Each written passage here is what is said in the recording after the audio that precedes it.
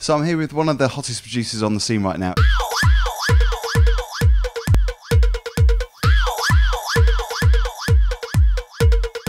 Hi, I'm good. How are you? I'm really good. Um, it's a good time for you. It's an exciting time for you because you've got a new album coming out. It's very exciting. I've got my new album, My House Is Your House. So I'm kind of just geared up and excited about that. And once again, some amazing people, some great artists that you've worked with as well, including Adeva. We were just chatting just now about the fact that she's been almost in hiding for quite a while. Adeva's not really kind of interested in being a star anymore. You know, she's kind of like quite reclusive. She's kind of Greta Garbo figure, and um, it took quite a bit of detec detective work to sort of track her down and and and get her to sort of want to be on board. But she really liked the track, I believe, and she was like, "Yeah, let's do it," and it's very exciting. So, how easy is that process to track an artist down that um, I presume is an artist that you admire? It, it, can be very difficult. I mean, that can be the most time-consuming part of my music making. Um, this album I've been working on for three years. Uh, my last album came out three years ago, and immediately I started working on this, and it's taken three years. Uh, the, the thing that takes the most time is tracking down the people you want to work with and the whole process of working with them. You know, because you got to get your schedule to match with theirs, and and you know it, it takes time but it's worth it. So when you're writing the music, the, the tracks, do you have that artist in mind of who's going to sing the songs on those? A lot of times I do. I mean, with this one, I wrote it and I really sat down and wrote it like a sort of gospel track, you know. I didn't start with a beat or it didn't sort of start as a dance track. It started as a sort of uh, stripped down gospel track. So I kind of thought, well, you know, ideally I'd like to have one of those big gospel diva voices and then you know, Adeva is the obvious choice. She's the perfect she? choice. Yeah. Because it's got that kind of feel good, hair raising gospel feel to it, and it's got the attitude of the diva vocal too. So. And I, I like to sort of have uh, like a sort of uh, some kind of melancholic sort of core of it. Like at the bottom, there's some kind of you know sadness in it, but then you really just take it to church. Did it take her a while to to consider doing it? It was just, uh, I mean, she's she's in the states and she's not really kind of uh, on the internet. She's not kind of uh, involved. In, in, in, the music business anymore. So it was just really that process of, of, of, you know, communicating with her that was time consuming. But once she heard the track, she was like, I love it we did, we did it really quickly. I mean, she's a one take girl, which is my kind of girl. That's, that's ideal, isn't it, for anyone yeah. that's making videos, especially. So, yeah, so she just she just came into my vocal booth and just belted her lungs out, and yeah. um, you know, and then I, I finished the track and you know, and she loved it and I loved it. So it was, it was, quite a quick process, actually. Was it something that you wanted her to, to do the video? Because there's so many fantastic people in that video. I don't think she's in it though. But no, I, I Molly Parkin. I, she, uh, she didn't want to be in it. She, she sort of jokingly said, "Oh, um, let me get into shape first. So I kind of took that as uh, okay, you know. So I just instead I kind of thought, um, uh, you know, let's do something else with the video because it's, it's a gospel track, but I kind of thought, you know I wanted to explore London in it because I mean I'm from Sweden, but I've lived half my life in London, and there was something about about sort of doing something in London that was really exciting to me because I hadn't done it before.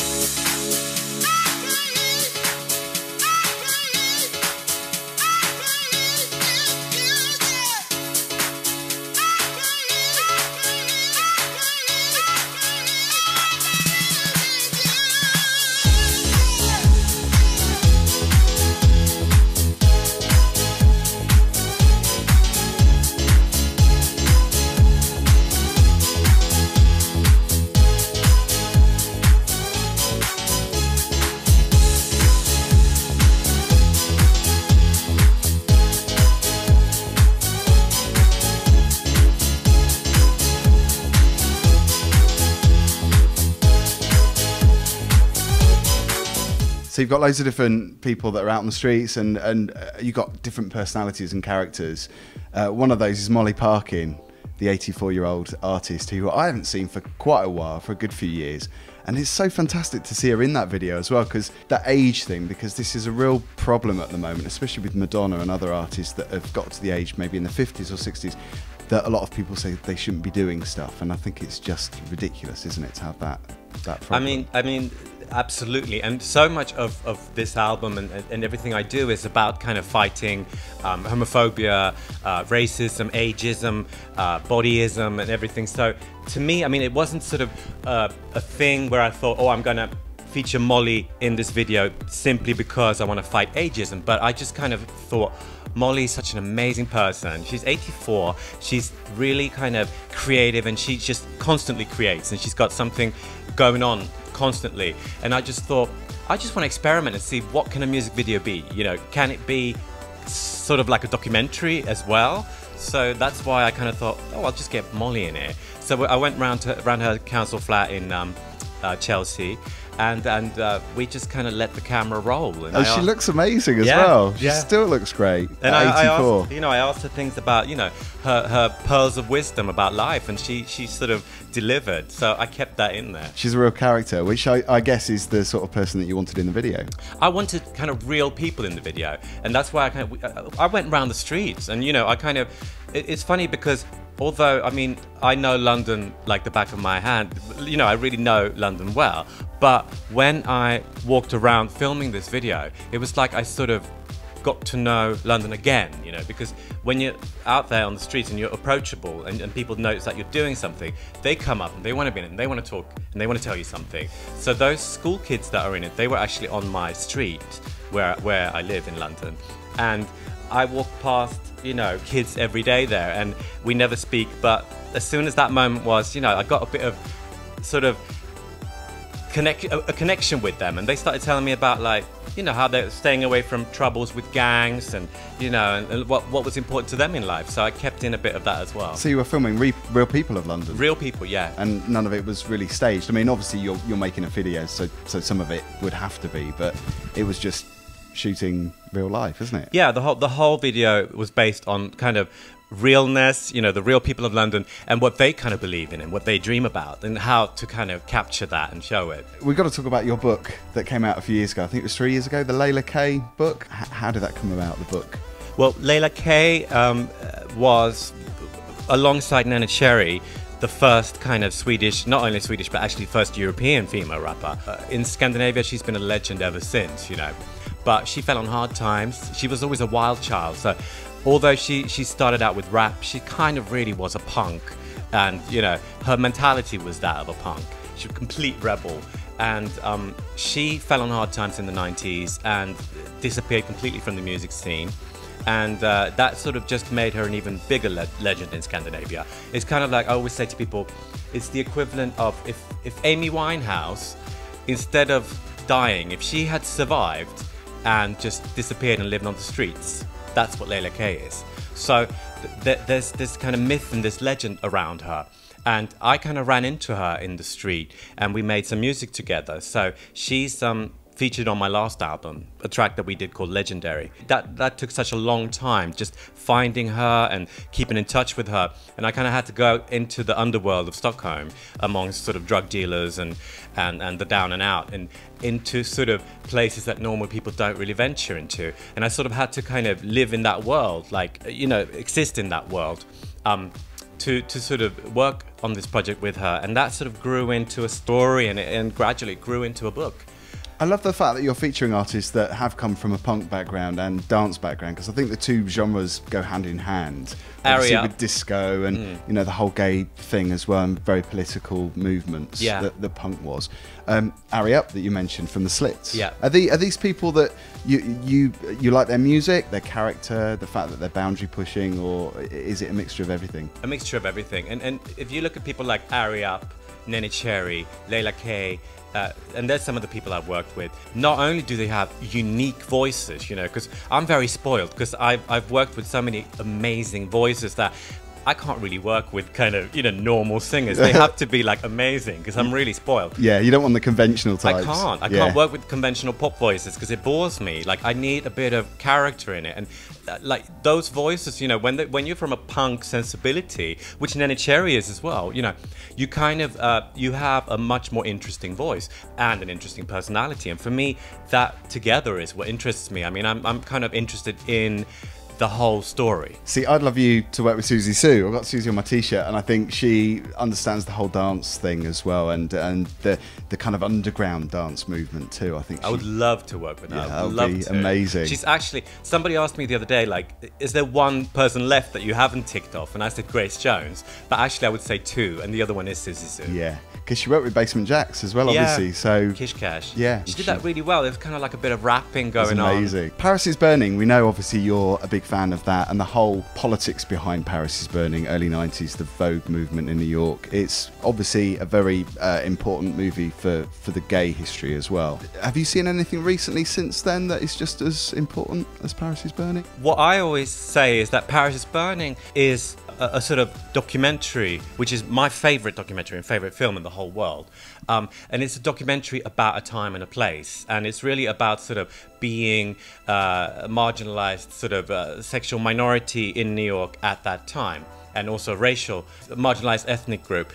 Um, Whereas the ballroom and the voguing scene has continued to live on. And, and what's exciting about it is that, I mean, I knew Octavia Saint Laurent from Paris is Burning, who was one of the kind of legendary icons, who uh, was also on my last album. Yeah, I was going to say you worked with her, yeah. Yeah. And um, so I kind of, I, I have that personal connection with that, that scene and that time. But now I also keep in touch with the, the, the kids on the, the ballroom scene today. And it's actually very exciting because it's actually bigger than it was then. But it's not in the spotlight as much. But the ballroom and the voguing scene has definitely lived on and it's moved out into the world. So it's actually starting to happen in London now. So where is- were you when you first saw the film? Paris can, is Burning. Can you remember and, and how old you were? I was in New York. I was in my early twenties. I sort of, I, I, I was like a kind of crazy wild club child, living the life out there, and it really just kind of hit me. It was nearer the time, obviously, so it wasn't. Now, when you look at it, it's a historical kind of document of how things were and how they've changed. Whereas at that time, things were more like that, and it was really poignant because it was, you know, it was really showing how much that there still was left to be done. Showing how people fight through adversity as well, and Yeah. how, how they fight through um, homophobia and everything to do with that whole movement. It was it was a struggle, wasn't it, for so many people? And then, I mean, what, what's so beautiful about it is the fact that the the whole core of it is creativity, and that's what I think is uh, the most beautiful thing about being queer. You know, that you kind of through adversity and sort of hardship, you sort of thrive through creativity. You know, you just kind of overcome hardship with creativity, which is what we've always done, which is why we were at the forefront of disco, house, um, culture, dating back to the Stone Age. You know, all those cave paintings. You know, who do you think did them? Yeah. You know, it was it was the faggots. You know, and and Michelangelo painting all those chapels. You know. Throughout history, we've always been at the forefront of culture and creativity to survive, you know. Do you think it's still happening now? Do you think there are important people that are that are pushing the, the not the gay agenda, but they're pushing that whole um, you know be who you are and be who you want to be? Absolutely. You know, people say, oh, it's all changed and it's become so mainstream and it's become so gentrified and, and now gay culture is bland and watered down. And, and, and I always say, um, yeah, it is, but there's also more options. You know, we have a mainstream today.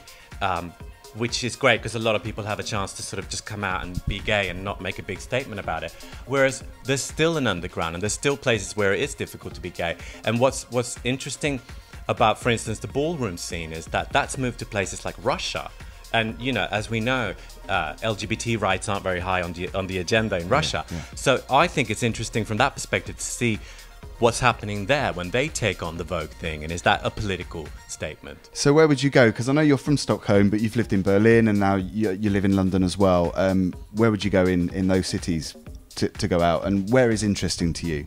Where's vibrant place to go? Um, I, I mean, I kind of, uh, I went to Glasgow the other the other month, and I loved it. I mean, I'd love to go back there. When I was in like, you know, Russia years ago, I thought that was really interesting, and I kind of like those sort of places that aren't as sort of obvious and where you know where, where everybody's not going. You liked Russia despite what's going on over there with. Well, I was there before it, it, all that kicked off. Right. So, would you um, go back? I would. I would want to go back and check it out. You know, I, I, I don't know what it's like there now though.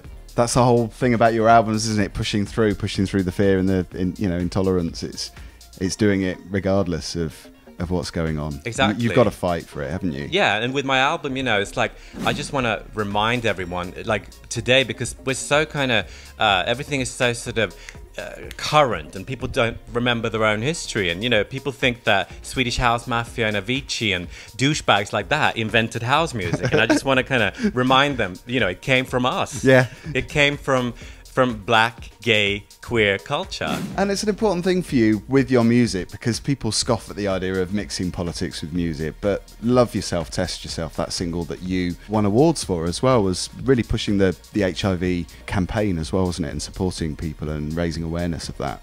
Yeah, I, I, I, I think it is important, and I think you know these days you reinvent you know the music industry. Nobody knows what the rules are anymore, so you got to do what you kind of feel is the right thing to do. And I don't want to make bland sort of statements about nothing, move your feet. You know, I, I want to sort of actually try and say something. And with the love yourself, test yourself thing.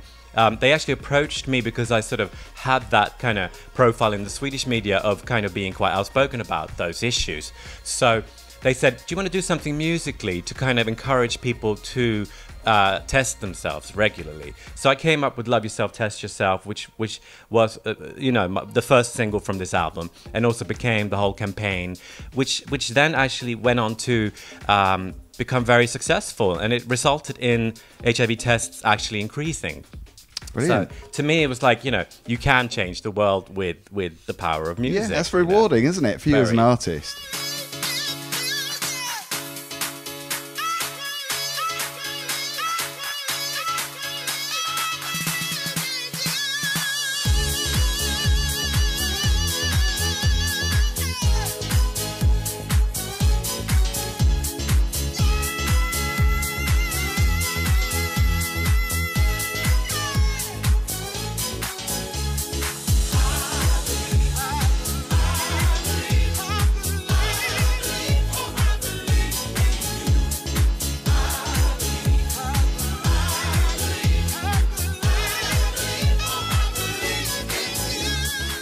So you've got Angie Brown, and you have Adeva, obviously on the single, I believe. Uh, who else is featured?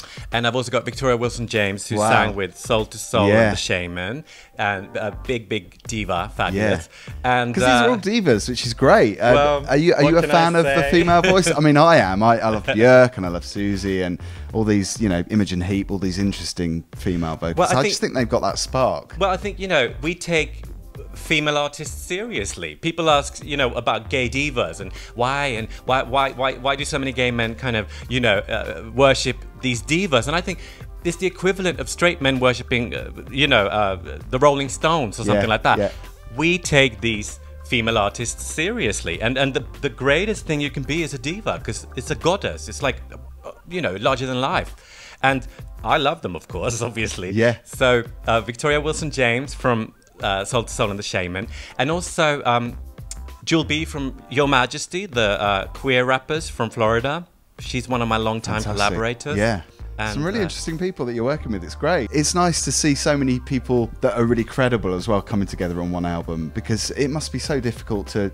We mentioned, you know, tracking down these artists and getting them to record the track. It's when it comes together after three years. It's it's brilliant, isn't it? It's all Yeah, I mean, it's all it, working. it, to me, they are very important. I mean, I'm not just one of those kind of uh, dance producers where it's like, oh, just sample a, vo- a vocal and just throw something together, and then you know, I, I love the whole story of it, and, it, and it's usually people that I've looked up to since I was like 12 or something. You know, Adeva was like, you know, she was, she's part of my DNA. Yeah. So it's like a personal kind of process of getting them on board. It's great. Well, I'm looking forward to hearing the album, and it's great to meet you, Petter, as well.